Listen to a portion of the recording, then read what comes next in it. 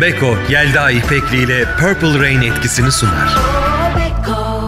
Ofisimde uzun yıllar boyunca zannetmek yasaktır diye bir tablo vardı.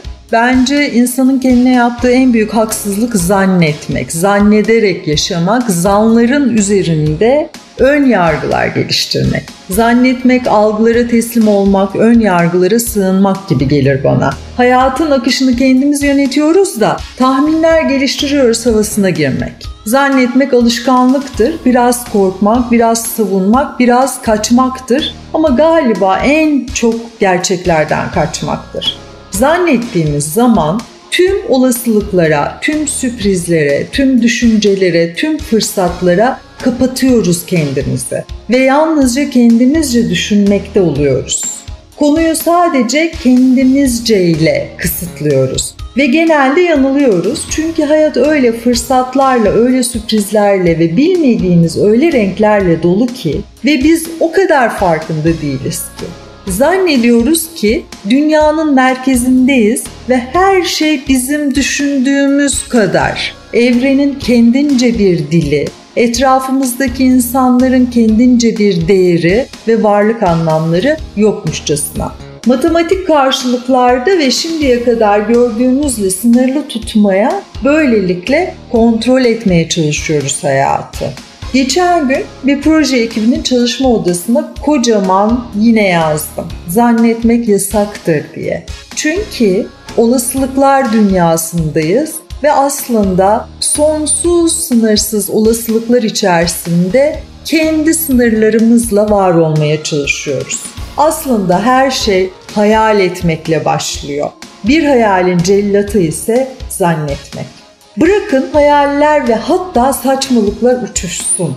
Beyninizi, kalbinizi dolduran sınırsızlığı hissedin ve o sınırsızlık içinde farklı olan size göz kırptığında sevecen bir coşkuyla sarmalayın ve ayaklarınızı yere basın. Projelendirin, matematikleştirin, formülize edin.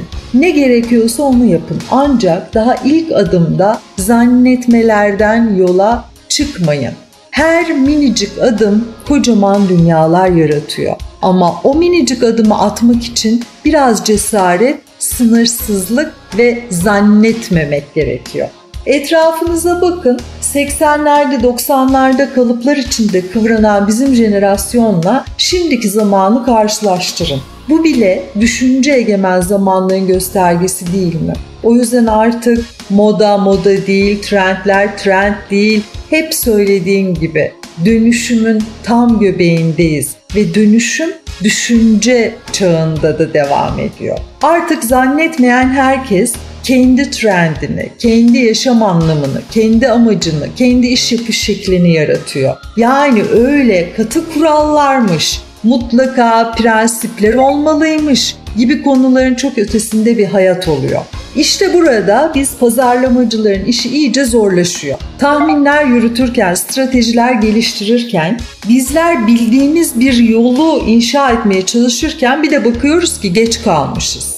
Dünya bizden, düşüncelerden, zannetmelerden çok daha hızlı bir akışkanlıkta dönüşüyor. Bu dönüşüme seyirci kalmamak, korkaklıkla geri adım atmamak ya da sadece sahip olmalarımıza tutunmak yerine minik adımlarla dev dünyalar yaratabiliriz. Uçuşmalı, akışkan olmalıyız. Sevmeli, sınırsız ve farkında olmalıyız hayatın gerisinde kalmak ya da hayatın ilerisinde olmaktan çok hayatla birlikte akmanın tam zamanı. Stratejik kurgular hala çok heyecanlı. Strateji, strateji aslında bir savaşma sanatı. Karşındakini çok boyutlu, çok verili, çok senaryolu düşünüp ona göre yine çok senaryolu, çok verili yöntemler geliştirmek demek. Ve bu rekabet çağında gerçekten stratejik düşünmek fark yaratıyor. Eskiden A hedef kitle, B hedef kitle tanımımız vardı. Pazar araştırmaları yapardık. Fokus çalışmaları yapardık.